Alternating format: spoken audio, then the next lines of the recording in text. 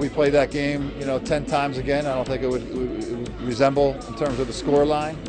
Um, I was happy with the, the start. I was happy with, I think, our first two good chances we scored, which, which quickly, you know, at home, put them on their heels.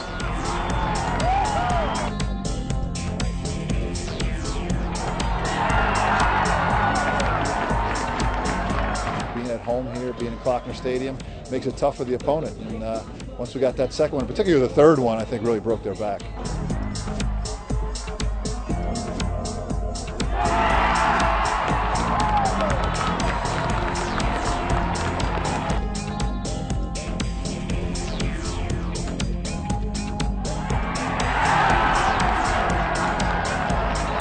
I'd rather the game end up 3-0 than you know 5-2, 6-1. Um, we managed to get a couple goals, but, but even more importantly, we, we kept them off the board.